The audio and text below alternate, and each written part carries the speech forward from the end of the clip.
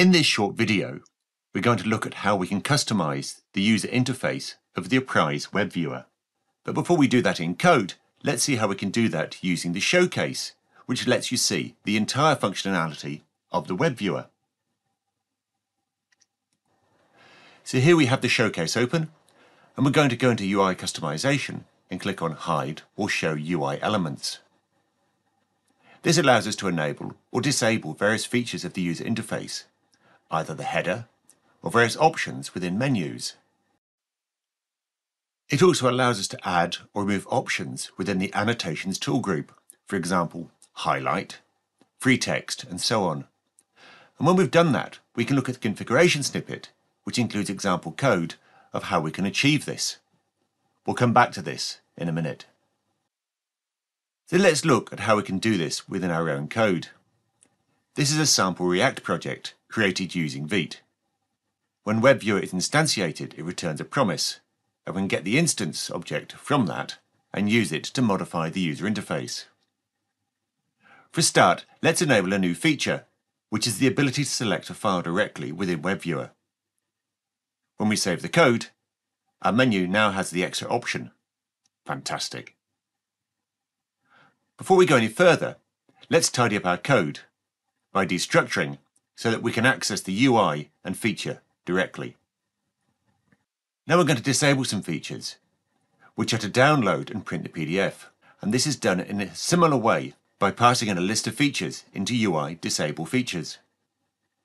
Once we refresh, we can see that the menu now only contains open file and save as, as well as settings. Now we can't remove save as using this method because save as is not a feature. We have to remove it using disable elements. In order to do that, we need to get the data element for the menu item. Because save as is a menu item that's only available when focused, we need to specify emulate a focused page. And then we inspect the element. We can see what its data element is. In this case, save as button. Next, we can add Save As button into the list passed to UI Disable Elements. Once we save our code and refresh our page, the menu no longer contains Save As. Now let's look at how we can modify what's contained in the various tool groups. In particular, let's look at the Annotate tool group that contains a large number of options, and which we looked at in the showcase earlier on. We can add or remove items using exactly the same mechanism that we've already tried. At the start of the video, when we looked at Showcase, we saw how we can get a code snippet that we can use to make changes. Now we're going to use that code snippet to update the UI from our own code. We will need to include the names of those buttons within quotes. Then when we save and look at the UI after a refresh, those buttons have now been removed. The last thing we're going to look at is how to modify the icon and title associated with a button.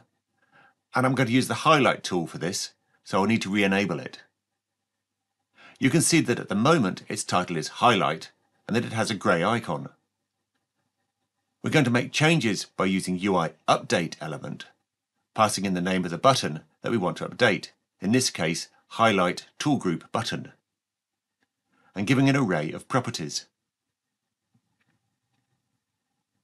The first thing we're going to do is change the title or tooltip and we're going to change that to add highlighting. If we save and refresh, we can see that the tooltip has now changed. Next, we're going to change the icon. We do this by dragging a new icon into the public folder so that it is available as an asset. Now we just need to specify the path of that image, save the file, and reload the page. And the icon will have updated. That's great. So what we've seen in this video is a fairly simple customization of the UI. It is in fact possible to completely create an entirely new custom UI for WebViewer, since the project is open source. Thank you for watching. Catch you next time.